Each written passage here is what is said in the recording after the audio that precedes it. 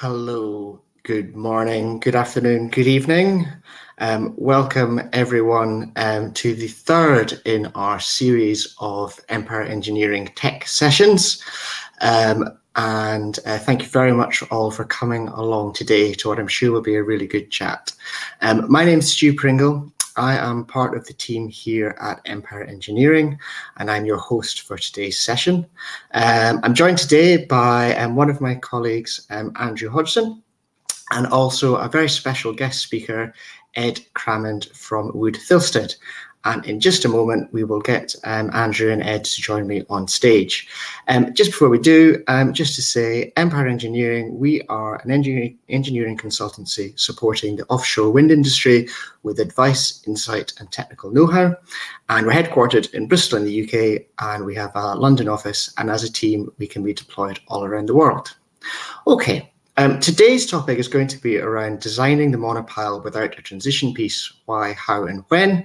Um, just before we get into it, a little bit of housekeeping. Um, some of you will be quite used to the Crowdcast system that we use. Um, for those of you who are new, um, you'll see the chat forum on the right-hand side. You can see a few of us have been chatting already. Don't be shy, say hello. Um, and you'll also see at the bottom, ask a question. If you would like to ask a question during the session, please um, put it in there and our speakers today will be able to pick them up. Um, and finally, if any of you are struggling with audio or video quality, if you hit the little cog um, setting sign, you can um, go down to a lower resolution of video, which should improve the audio. Um, we're all beaming in from different locations today, um, so there may be the odd moment of delay or the odd pixelated um, bit of video, but we will do our best. Okay, um, that's the housekeeping out of the way. Um, I'll introduce you to the speakers in just a moment, but I'd just like to say very quickly, thank you very much um, to our sponsors um, of the whole series, who are ITH Bolting and Wood Thilsted Partners. Um, so they have helped bring this series to life um, over, over the course of this year. So thank you very much. Now then, let's talk about today's topic. Um, we are going to be um, looking at um, all things technical around the monopile um, without a transition piece, the why, the how, and the when. Um, the agenda for today's session is um, we're going to meet the speakers. We're going to look at the traditional design with a, t- with, with a transition piece. We're going to look at the reasons to consider a TP-less design, some of the risks to consider, and also how it can all come together, followed by final thoughts and a little bit of Q&A. Um, now then, I think without further ado, it's probably about time we met today's speakers. So I would like to welcome on stage, um, first of all, um, my colleague Andrew Hodgson from Empire. Andrew, hello. Could you say a few words about yourself? Hi, Stu. Thanks very much. Yeah, my name's Andrew Hodgson. Um, I'm a senior engineer at Empire Engineering. Uh, I've been with the company for about 18 months now. Um, and I've worked on uh, a range of offshore wind farms uh, in around the UK. Excellent. Thank you, Andrew. Welcome along today. And also, last but not least, I would like to say a very special welcome to Ed Crammond from Wood Thilsted. Ed, could you say a few words and introduce yourself, please? Hi, Stuart. Uh, my name's Ed Crammond. I have been at Wood Thilsted for about three and a bit, three and a bit years. Um, I'm an associate director in charge of one of the project's teams at the moment. I'm a structural engineer by background. Um, and yeah, uh, it's uh, great to be here today. Excellent. And as we were discussing, one of only three people who are in, actually in the building today, so you got a nice quiet office. Yeah, there's not not too many people here behind. but if you see anyone there, you know, you can give them a wave or something. I don't know. Brilliant. Thank you, Ed. Welcome along. Okay, um, I think before we get into talking about TP-less, it's probably good just to set the scene and talk about um, the traditional setup with a transition piece. Um, and I thought it'd be good for Andrew just to give us a little bit of background about what is um, traditional design. Um, Andrew, over to you. Yeah, no problem. Thanks, Stu. Um, so I think before we start, it might just be worth considering uh, what would be in the traditional TP, um, just so we can get the terminology right and that we can just have a quick review of what needs to be relocated um, when we're looking at a TP-less design scheme. So if we look at the external components, so we'd have the external working platform, the boat landing, which would be split into two sections. The top section would traditionally be uh, fastened onto the uh, the transition piece, with the lower section lowered and offshore, um, and then the rest platform, the split rest platform, would be between the two. Uh, we'd also have the anode cage, uh, and the images you can see on screen now. That's fast. They're, they're mounted to the bottom of the transition piece. They could be lowered down. That's just the one that we're considering today. And then, in terms of the internal components, uh, there's the bolting platform at the top. There's the switchgear platform in the middle, and there's the airtight platform at the bottom. Now, this is just one example of a uh, typical design. Um, they can they will vary from project to project, and this is the bolt a bolted arrangement, uh, which is a little bit different to the grouted, but in terms of this talk, that doesn't make too much uh, too much difference. So that's just a quick roundup of the traditional TP list design for before we get into it, and just a quick look at what we need to to move when we're considering um, a different design scheme. Excellent, Andrew. Thank you very much for that. Okay, so I think um, that's a really good way to set the scene. Um, but of course, today we're talking about a TP-less design. Um, so let's think about some of the reasons to consider this um, as an option. Um, Ed, let, let's go with you first this time. So come on, why why should we consider this? Yeah, so um, we've uh, seen an uptick in interest in, in TP-less solutions from um, from clients and um, developers in lots of different directions, really. And I think there's two big uh, perhaps uh, drivers that might might lead you down this route. Uh, one of which is obviously the, the connection between the MP and the TP, um, either grouted or bolted. Um, they they all both have their challenges. Obviously, there's been some sort of historical challenges with grouted connections, um, but bolted connections as well are quite sensitive, um, and the uh, issues around fabrication and and getting uh, the right level of sort of integrity in, in the connection is um, is some something that, that can add an element of risk. Um, but both of those connection options also take a, a, reasonable amount of time to form offshore. And I think that's sort of the main second point is is that the, um, uh, the project owners are, really, really looking to try to uh, reduce the, the overall costs of, of both installation time and maintenance. And it might be that um, exploring a TP-less option here um, uh, would, if you get the solution right, produce um, a quicker installation and, and lower lower uh, maintenance costs in the long term. Um, of course, you need to make sure that the, the, design that you end up with for TP-less is um, is well well thought through.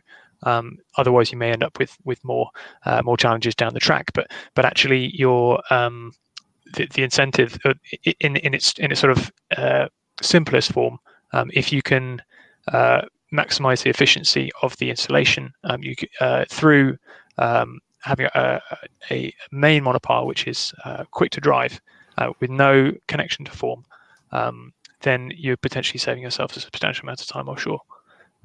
Interesting stuff. So a lot, a lot of information there, Ed. Thank, thank you very much. Um, Andrew, have you got? I know you had a few points that you wanted to raise um, on, on this as well. Yeah, um, I think so. We've actually done a bit of a, concept study, which we'll look at later uh, into TP-less designs. And when we did the cost analysis for it, we saw that the major costs were being reduced during the OPEX phase, and that's principally driven by the removal of or, of the flange between the the monopile and the transition piece. So when we did the the concept study, we were typically seeing savings um, of around six to ten percent now, that might not seem particularly high numbers, um, but that's 6% or 10% of the, the overall cost of the wind farm. So as a magnitude, that is that is quite a large, substantial saving. Um, we also find that the, if you can reduce the operational costs, uh, you you start to make life extensions uh, more economically viable, and you can push the life of the wind farm potentially out at the at the far end of the project. Um, we're also seeing that one of the benefits we identified as well was that um, the installation contractor can get a maximum usage, more more usage out of their vessels. And as we'll see on the next slide, when we come to talk about risks, this is becoming a more viable option because there are now installation vessels coming to market that can handle much larger monopiles. Interesting stuff. Okay, that's really, really useful.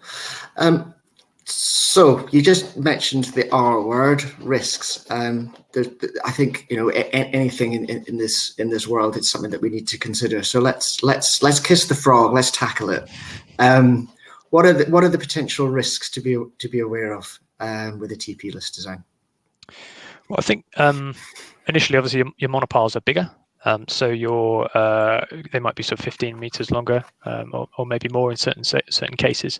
Um, that may reduce the the scope of vessels that may be able to handle those monopiles. But as, as Andrew touched on before, uh, that those potential vessels, are, that pool of vessels is potentially getting larger um, as as larger vessels are coming onto the market. Um, there's obviously design issues um, which we need to be aware of. So uh, driving damage on attachments for the secondary steel um, is one that will need to be looked at carefully. Um, again, it's, it's, a sort of technical problem that can be solved with with some careful detailing and good engineering, I think, in general. Um, but you're, uh, yeah, it is something that needs to be sort of baked in from day one. Um, but I think the, the big one in my mind is about coordination with the installation campaign. Mm. The making sure that the design is sort of uh, accounting for how the installation sequence will actually take place in practice and what vessels are being used is really important to getting an efficient solution. You think that um, you may have lots of individual components for, for boat landings and external work platforms, for example, all stacked up on the installation vessel deck. All of those components take space um, and that can be a limiting factor as well. So making sure that um, whichever solution you go down um, is compatible with um, with the installation strategy and methodology is really really important. Um, so that that's deck space, lifting time, uh, making sure the details are workable offshore in terms of the um, constructability, if you like, and obviously that they're robust in the long term. Uh, so yeah, uh, contractor involvement is, is is pretty important here. Excellent. Okay, so there's some some some really really good good points raised there. Um, Andrew, any others? I mean, that was a pretty comprehensive list. Is what else should we consider? Yes, we've, we've talked about installation uh, quite a lot, but I think it's important to, to, to, note the fabrication side of things as well, which, which can be limited. Um, just again on, on, on, like your loadout weights of, of a monopile, which is substantially heavier. Um, there's also kind of design issues regards uh, you're going to be driving now on the WTG interface flange. Um, so kind of careful detailing of that and, and, careful detailing of the tolerances would be required at the design stage. And as as Ed said before, um, th there's another big one to, to surround this. There's a significant number of additional attachments onto the primary structure, and, and they would be need that you would need to be very careful about how you detail them and, and manage that process. Um, otherwise, you might find your OPEX savings get quite eaten into um, if you start to see fatigue failures on on those attachments. Okay. Okay, that, that that's all very fair, fair, fair and valid points. Okay, so let, let's let's move on. Um, we've talked a little bit about the risks there, but but let's ask the question: How how, how did the design come together? Tell tell me more about that, folks. Yes, so as, as I kind of alluded to earlier, um, we have done a bit of a concept study um, at Empire Engineering uh, to look into sort of how you would put the TP-less design together. Um, now, I should stress as well that this is this is a concept, um, it is at concept level, so uh, it's just to be aware of that. Um, but the idea would be is that you would lower the four components on screen, the discrete components, um, onto the monopile during installation. So those four components would be the external working platform, uh, the integrated platforms, the integrated boat landing uh, and ladder, and the the anode cage. Now, I should say as well that this is one way of doing it, and that uh, these these are the kind of the solutions to the the design issues that we we came up with when we were looking at the study. But I think just it would be worth looking at what some of those design issues are that we we came up against and how we kind of overcame them when we had a look at this. Mm. So I think the first one to look at would be the external working platform. Um, so this would be lowered onto uh, the monopile around the outside. So there is a kind of a skirt which would sit on a uh, sit on a, kind of attachment on the outside of the monopile. Now, the way that we've designed this is in order to you do have issues with when you come to kind of overturning of that because it is being held under gravity. Now, the the way that we did was was to uh, put a concrete counterweight on the back of the external working platform, uh, so that when you load up the front of the platform, you don't get it kind of overturning um, against the monopile.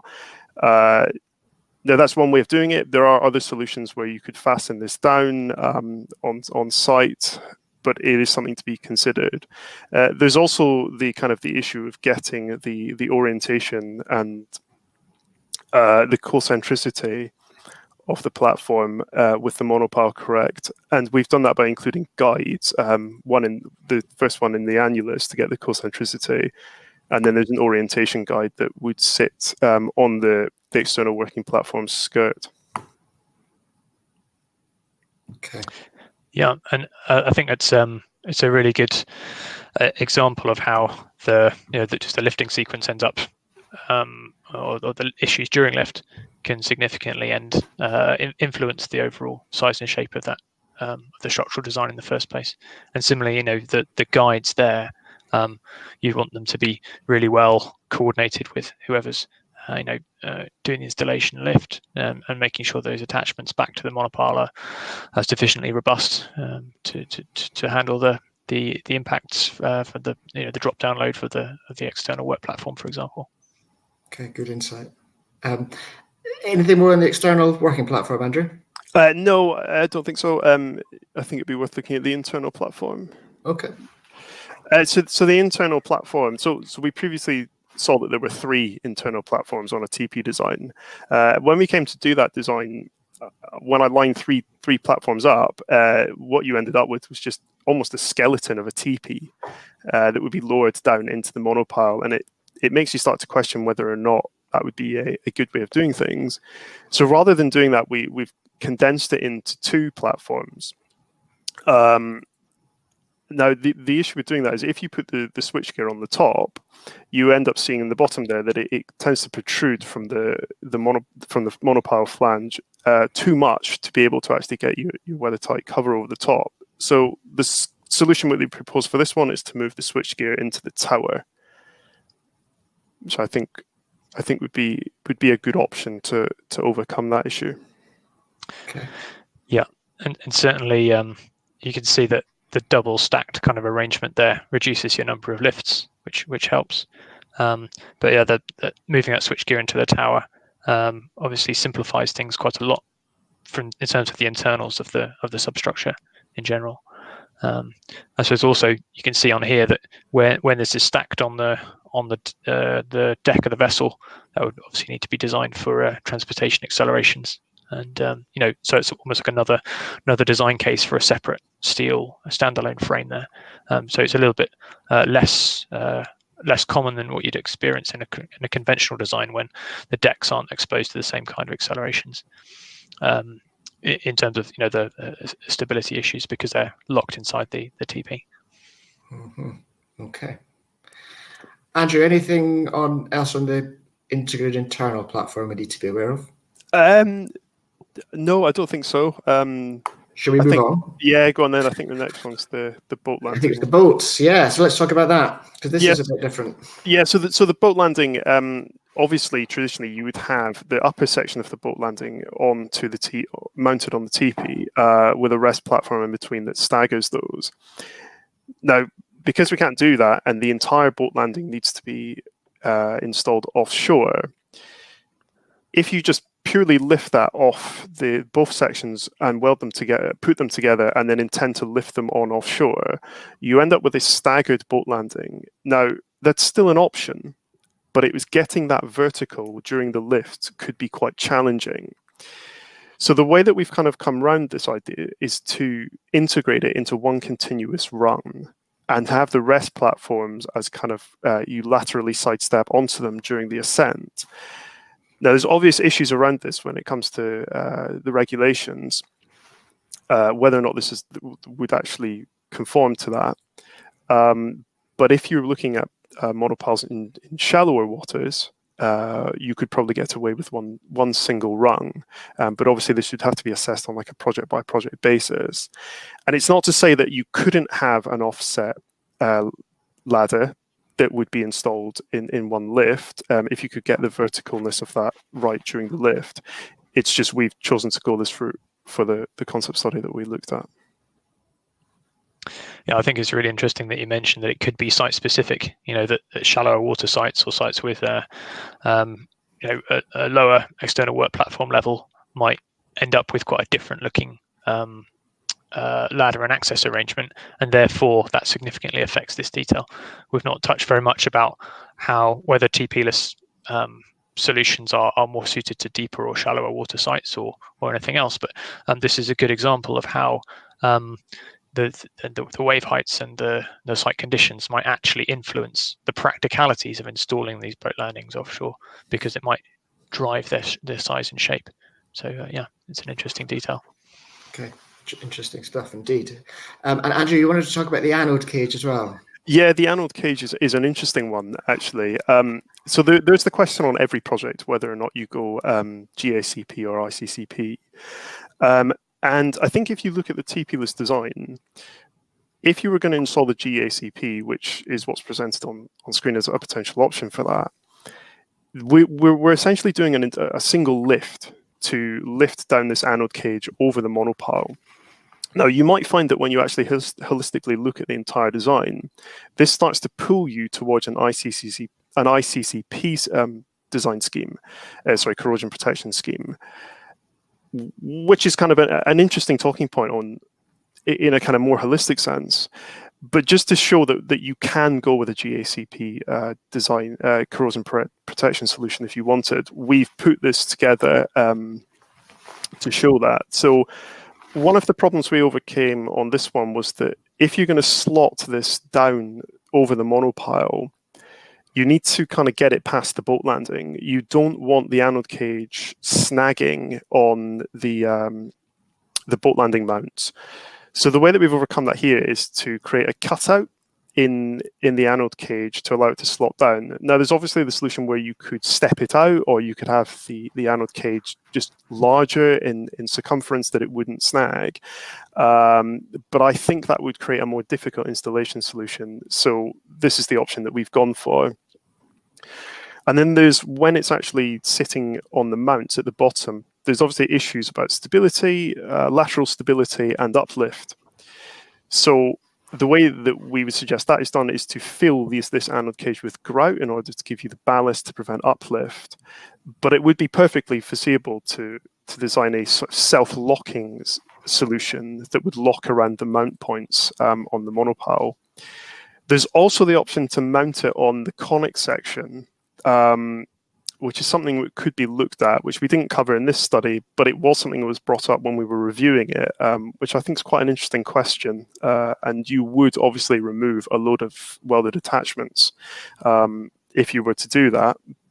But again, it would be something that would need to be considered at, at detail, which is the best scheme to, to mount an anode cage, should you choose to go with this uh, corrosion protection strategy. Okay. I could see a, a question in from Nigel on the chat said, uh, "Why Ooh. can't the anode cage be installed first and have a ring?" And I, I think it's a, I think it's a good one. Um, I think here, from what I can see from from Andrew's detail, is that this is installed fairly high up. It's at the bottom of the boat landing, effectively at, at that level. Um, and I think in terms of the tolerances, um, you would be, you, I guess, you'd be scraping up against the stubs for the boat landing. Uh, correct me if I'm wrong, Andrew. Um, which uh, uh, that would be the challenge there. But perhaps if you were to mount the ring further down on the cone, you'd have a larger diameter for the ring, and you have probably a better chance of keeping clear. Uh, but still, I guess the risk of snagging um, it, is still there. It just need to be thought about. Um, I think if you went for ICCP, obviously, um, you know, that's maybe more suitable for a shallower site, but um, your uh, you, you, would uh, effectively do do away with some of this if, if you can mount your ICCP anodes on the bottom of your boat landing. Um, and that's obviously a function of, of, of doing your, your, corrosion protection design properly to make sure that you've got the right spread um, of, of, protection. Um, but yeah, that might make things a bit a little bit simpler. Um, but it's interesting that that you know again that's that's one of those decisions which um, isn't usually changed kind of halfway through a project. So it's almost like it needs to be thought about right at the start um, mm. when you're thinking about TP-less design. There you go. You've got a many thanks for answering the oh, question. So there you pleasure. go. Thank you, Nigel. Um, thank you, Ed. Ed that's been re- that was really useful. Okay, so Andrew. Yes, so that's. I mean, that is just a quick roundup of the components um, that would go into this design, uh, and I think we've looked at some of the design challenges that we faced um, and and how we overcame them. Uh, there's obviously multiple ways of doing this. Um, that is just one of them. I did actually as well. I saw in the chat now in the answer question. I can't find it anymore, but um, someone asked whether or not we're replacing one TP list, uh, one TP lift with a lift for four components. Um, now the answer to that is yes. Uh, the blunt answer is yes, we would. Um, but one of the kind of advantages that we identified in this is that the the components that you'd be lifting in as part of a TP-less design are significantly lighter uh, and significantly smaller on an individual basis than an entire TP list lift. And one of the ways you could gain uh, installation program optimizations is to have a smaller vessel come up behind your main installation vessel for the monopiles and install these individual components um, on the TPs.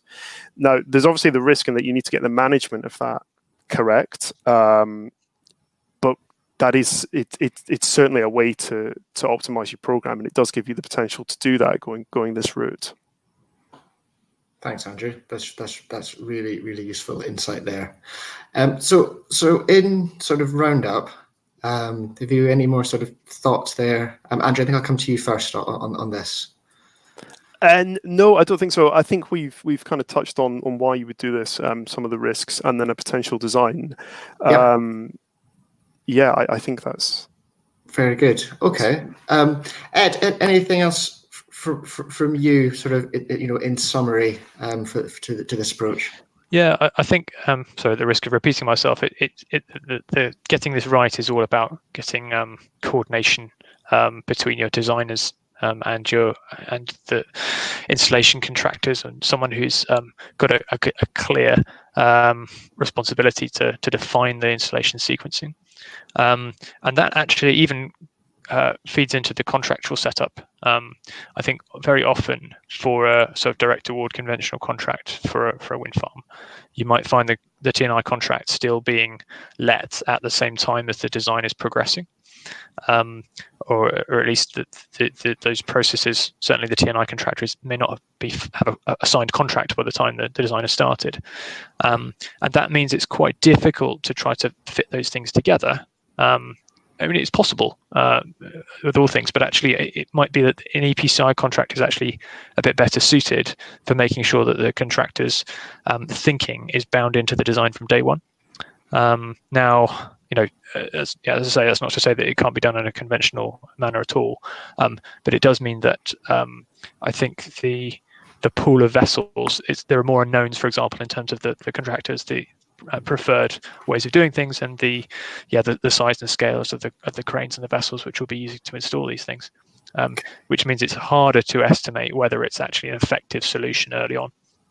Okay. Um, so yeah, it's it, it's worth looking at, um, but it, the, the, integration of the of the of the installation process and uh, making sure these designs are all workable um, is critical for, for making sure that the um, the the TP-less is, is is a success and economic. Otherwise, it, it is likely just to make um, you know uh, to, to, to pose a, uh, a, a more of a challenge. Um, but but get it right, and I think there's there's some substantial savings to be made. I think that's a key point there. That's that's that's really really good. Um, Andrew, any other sort of wrap up thoughts for you before we sort of dip into a couple of questions? Uh, no, I, and again, at risk of repeating Ed there, I, I do think that there is there are risks identified, but I do think that if you get this right, there are savings to be made. Um, which which is why it is worth considering this, even though it may be it may be a new and novel solution to, to some people, there are definitely savings to be made on it, and, and it's worth pursuing. And you know, in, in five years' time, do you think we might see a bit more of this design around the world? Yeah, I think. Well, I think we will. Um, as Ed said at the very top of the, the presentation, that we're seeing an uptick in the number of of TP-less designs going in now. Um, so, so, yeah, people are doing it, and and I think they're seeing the benefits of it. So yes, I, I do think that we'll start to see this. Very good. And ah, we've got Ed back. There you go. My blood runs cold as host when I see things like that happen. Okay. Um, we've got just a couple of minutes left. Um, is there any of the questions that have come in that we're not yet covered that you'd like to maybe have a little tackle at, gentlemen? Uh, we've got one from Malu Wagner. Did you look into the T, uh, TNI pros and cons for solutions as well as the manufacturer pros and cons? Um, Andrew, did you, um, in, in terms of when you pull together your, your, your solution here. Um, did you go through a TNI sequencing process or uh, um, was that a, um, mostly looking at it from a design perspective? It, it was well. I mean, I'm a designer. Um, it was mostly looking at from a from a design perspective, but we did we did look at the TNI process on this. Um, we which is which is where we identified the um, the kind of the idea of using like a smaller vessel to do the smaller lifts of the of the TP-less com- TP-less components, um, and we do think that, that, there are kind of opportunities to, to make gains there in terms of cost and program. So yeah, we did look at this uh, as part of the study. Yeah, okay. I think in, in terms of the the vessel when we've looked at this it will Thilsted that the, the the number of vessels out there are increasing that can that can sustain monopiles at at um, long monopiles at, for sites of maybe 40 meters plus. Um, they're they're increasing. Obviously, when you're in shallower water depths, your your vessel pool will still be bigger there, and that's good. And obviously, if you've got efficient design for your monopiles, the weights will be lower as well, so that's good. Um, so uh, yeah, there's, there's certainly both from a kind of broad perspective, like have you got a vessel which is physically big enough to the actual nitty gritty of how do you install the boat landing successfully without damaging it? Um, that's all of those things. The whole spread of things need looking at. Um, Manu's second point about manufacturing pros and cons is an interesting one as well. I mean, what you see here for um, the number of attachments would significantly increase on the monopile um, which means that with this kind of serial production that we see um, at the likes of the big monopile players at the moment, um, it has a small number of attachments, perhaps for a landing ring or um, for uh, you know, attachments for for an anode cage or something. Um, but very often those um, attachments are, quite expensive to do because you, you might need to take the take the cans off the main serial production line. Um, so anything we can do to try to improve um, the details for both installation and manufacturing to help um, speed those things through the factory, maybe try to reduce the amount of manual welding, welding if at all possible, um, then that, that, that would certainly be beneficial. Okay, thank you, Ed. Now we've hit the 30 minutes, so I could let you both off the hook, but are there any more of the questions that you'd like to have a have a shot at before we before we go into the, the, the last lap? Having a look. Let's have a look. Um, there's one from TCO about tolerances, which I think mm-hmm. is a really good one. Um, it's something that um, is obviously it, it, it, really needs needs needs care and attention, both from um, uh, from a design side and, and, fabrication side. We know that the the standard tolerances which are there in um, in the likes of EN 1090 and, and the DNV code for um, for for large shells, those can be comfortably um, achieved in terms of you know out of roundness um, for the um, for the for the monopiles, for example. Um, but when it comes down to uh, making sure the individual details have got enough clearance around them, that's that's something which is really really important. And i think again needs early engagement. It needs probably some sort of um, a, a, point in the design process where there is definition about the required level of, of clearances around all the different um, connections. Um, this is yeah it, it's actually critical for getting right um, otherwise yeah you'll end up with snagging you'll end up with with with major offshore problems as um, as I think the, the, the question the person who asked the question was um, has inferred. Yeah, I think there's a clear theme from listening to you that the, the earlier that this can be involved, the more potential gain there is, um, and the less potential pain. Hmm. Very good. Well, look, um, I think I'm going to have to just about call time there on this one today. Um, I'd like to say um, thank you very much to both um, Ed and Andrew. I think they've shown um, that they've got considerable knowledge um, in this space. I'd like to thank them very much for taking the time uh, um, to speak with us all today. I'd like to thank everyone who has taken part and attended and asked questions and got involved. It's really brilliant to see. Um, again, thank you to ITH Bolting and Wood Thilsted for sponsoring um, this initiative. Um, we will be doing another tech session um, next month, so keep an eye out on the email um, and on the Empire Engineering website, and we will do something at the end of August.